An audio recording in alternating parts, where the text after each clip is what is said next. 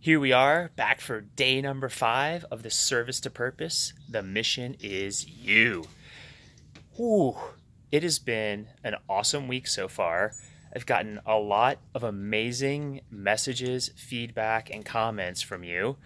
And really, it's it's allowed me to kind of shift things a little bit for today's video. Um, as I look back on the process, like I said, my name is Brooks Holland, and my strength is seeing the greatness that's inside of you because I know all the ways that you will try to self sabotage and fight it and not see it yourself. And this is something I, I mean, it took me 25 years to really kind of get and grasp some of these concepts. And the biggest thing that I want you to know is right where you are today is absolutely perfect and that's the other thing is, is, I started doing this challenge and started getting feedback from people. The biggest thing that I want to do is I want to meet you where you're at. And I just really want you to know that where you're at is perfect. If you have to watch the videos a couple times, you know, some of these things it's going to take some repetition. And really, the biggest thing that I want out of this challenge, one of the initial things that I want out of this for you, is a new level of awareness because it's so funny just like certain things that maybe we've seen motivation motivational speakers or we've seen the memes like we quote unquote we know. I mean that was probably one of the worst things. I already know that i already know that i already know that but i wasn't really taking it in. I wasn't really embodying a lot of these things because i still wasn't to a place where i really and truly got it. And so that's really what i want. It's day five. I just want you to be I want you to be okay and not rush it because that's one of the biggest mistakes that I've made all the time. Like you, you know, you start comparing yourself to others and where they're at.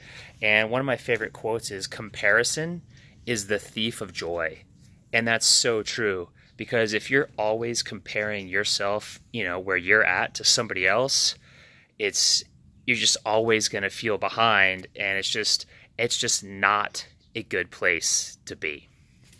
So that's really the big takeaway right now. Where you're at is absolutely perfect. I know you hear people, I know people used to say this to me or I'd hear it, and I want to pull my hair out like, no, I'm not. I'm so far behind. There is no behind. And that was the thing. I really, it took me a long time to grasp this because one of the big pivotal moments in my life was getting dropped 13 days till graduation from Navy SEAL training. And it took me over 20 years to actually understand why that happened. I mean, I got to spend the first 20 years after that beating myself up, being a victim, you know, not taking action, being harder on myself than anybody else possibly could. But then it really finally landed that that incident was actually happening for me for a reason. And so it really gives me that nice sense of inner peace once I got that and I stopped just beating myself up left and right you know, maybe you're guilty of that too. Maybe you talk to yourself worse than anybody else actually ever has because I know that that was me. I was so incredibly hard on myself for everything. Even the wins that I would have, I would knock I would knock the wind out of my own sails, you know, so that I could be right. So, what I really want you to know is you're at the perfect place. Stay consistent with these videos there my goal is to keep them about 10 minutes long at the maximum length and it's going to be doing these things consistently and getting the reps. And the other reason why i wanted to do this type of video today is i just i want to kind of set the stage. There's some work that we're going to get to do and i always say like it's simple but it's not easy but what I'm really going to do is I'm going to prepare you as much as possible so that this work is as painless as possible when you actually go and do it. Because a lot of times it's the anticipation of something that's actually worse than that than that thing. And I'll give you a quick example for that.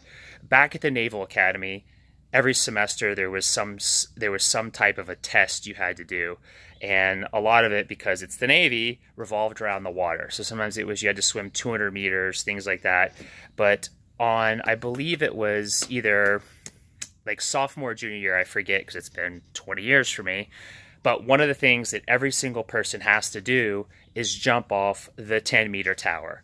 Like, yes, the tower that you see in the Olympics with the 10 meters, every single person has to jump off of that.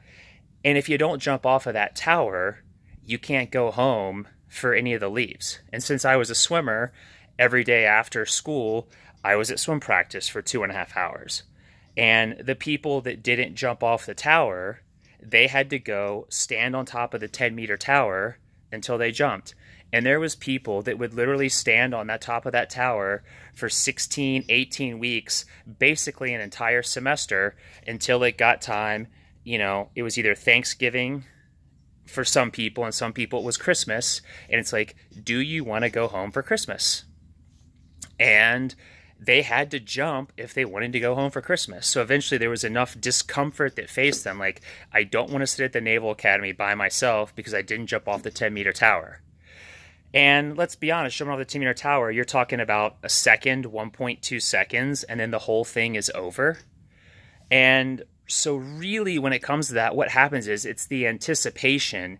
You know, it's what we make it up in our heads. But I would say 98 times out of 100, once people jumped off, the people that sat there every semester, because we'd see them every day, the whole swim team, because they would be standing on the 10 meter tower for our entire swim practice for a semester. They might not want to go up there and jump off again, but after they would do it, most people be like, that really wasn't so bad. Like, but yet they spent, let's just call it 10 hours a week standing on top of that. I mean, they, they spent 100, 150 plus hours basically stressing out and avoiding something that could have been over in less than two seconds. And really, the same thing is going to apply here with some of the exercises that I'm going to have coming up for us. But basically, the whole key is just like that 10 meter tower, there's no way over, under, around. The only thing you got to do is you got to go through. You have to jump off that 10 meter tower and you have to experience it for those two seconds. And what you're going to see is, is so many times in life, we're coming across these things that are like the 10 meter tower. They're something that literally we make it so much worse in our head and we psych ourselves out and we send ourselves that we will actually spend hundreds of hours you know stressing over something that could be over and so really my goal is i want to get you as prepared as possible so that when it is time to jump off the 10 meter tower, okay, you might not jump immediately, but you're going to jump within a few minutes. You know, you're going to catch yourself and you're going to push through it because that's what I want to do. I don't want you to waste, you know, not just 100 hours standing on a 10 meter tower. I don't want you to waste days, weeks, months, years, and decades of your life letting the fear or the story of something perceived when in reality it's it's really not that bad. And the thing is is I'm going to be here to help guide you through this process.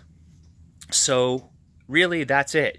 You're right where you're supposed to be and just keep doing the work. Keep sticking to those core things every day deciding taking responsibility, getting your gallon of water in. Yes, you can add lemons, lemon juice, or cayenne pepper eating real natural foods, getting in an hour minimum of movement exercise every single day.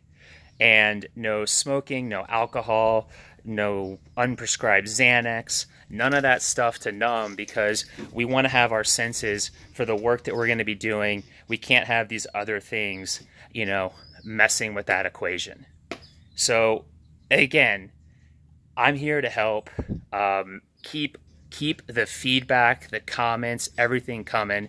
It really helps me. If you're finding value in this, share it with somebody that could use it. Use the hashtag TMIY for the mission is you, and also service, the number two, and then purpose.